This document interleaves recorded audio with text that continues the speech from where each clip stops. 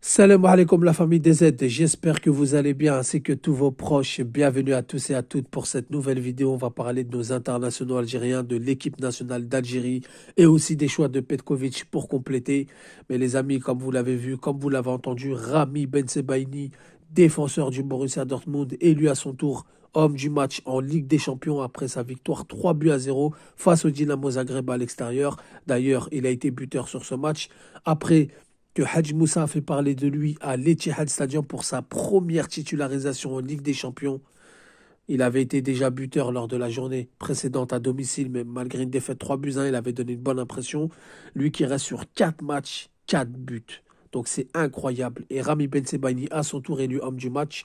Deux joueurs algériens, coup sur coup, élu homme du match. Et ça, c'est magnifique.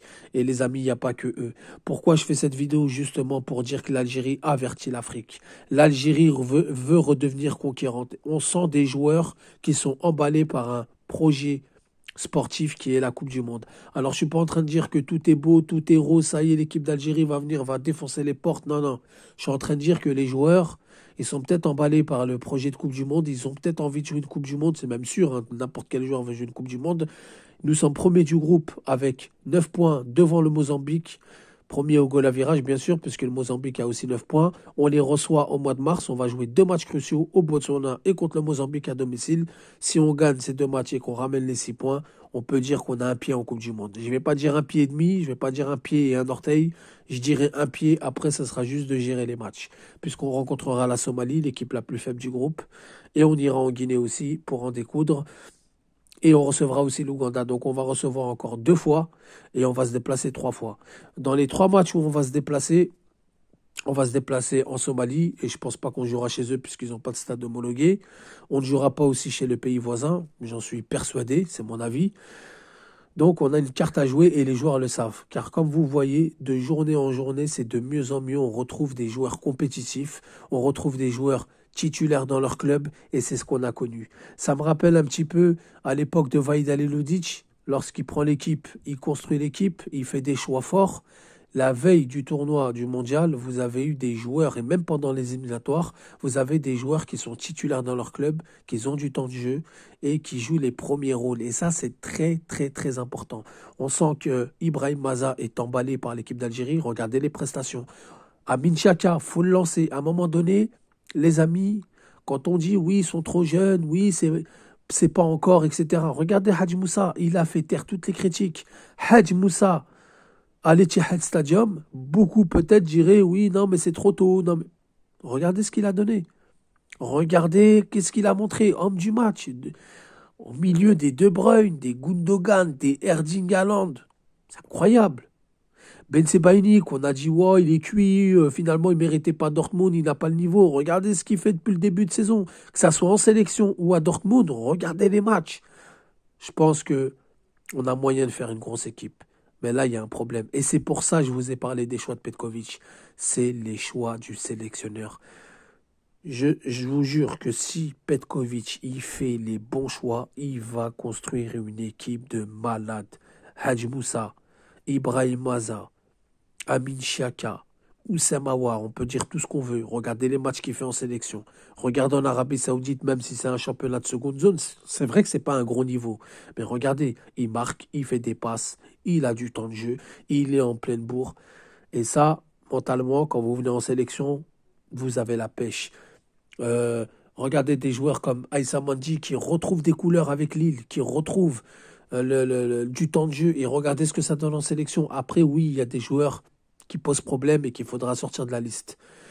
2019, lorsqu'on gagne la Cannes, tous nos joueurs sont compétitifs. Belaïli qui fait une grosse Cannes, deux fois champion de Tunisie, vainqueur de la Ligue des champions africaine.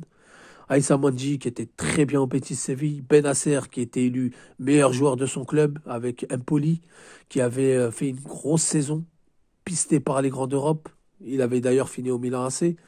Euh, Rami Ben Sebaini qui avait été champion de France avec Rennes, qui a fait une grosse saison. Donc, vous voyez, c'était pas du hasard, c'était du travail, de la confiance et de la rigueur. Et c'est absolument ce que je vois chez nos joueurs. Nos joueurs ont de plus en plus confiance, ils ont de la rigueur. Vous avez des joueurs comme Abdelli qui font une saison pleine pour le moment, alors qu'on a seulement 12 journées, mais qu'ils ont énormément de temps de jeu. Euh, vous avez des joueurs comme Marez qui, malgré tout, quand même, reviennent. Il a perdu du poids. Il, a, il est emballé par ce, cette Coupe du Monde. Donc les, joueurs, les joueurs je, sens qu'ils ont faim. Je sens qu'ils ont envie de reconquérir quelque chose. Je sens qu'ils ont envie de repartir vers l'avant. Ils ont faim. Quand vous voyez des joueurs comme Amoura, la mobilette, qui est titulaire indiscutable à Wolfsburg, qui enchaîne tous les matchs avec Wolfsburg titulaire. Donc on voit bien que nos joueurs jouent les les premiers rôles en club. Ce n'est plus des remplaçants, manque de temps de jeu. Donc ce qui fait qu'on arrive en sélection, on se blesse. Bon, je mettrai un bémol, c'est Boudaoui. Si on arrive à avoir un Boudaoui régulier en sélection, alors là, c'est, comme on dit, la cerise sur le gâteau. Là, c'est, on, signe tous les jours. Boudaoui, gros joueur, gros volume de jeu. Non, Petkovic, il faut qu'il fasse les bons choix. Petkovic, si tu tombes sur cette vidéo au cas où, Allah s'il te plaît, fais les bons choix.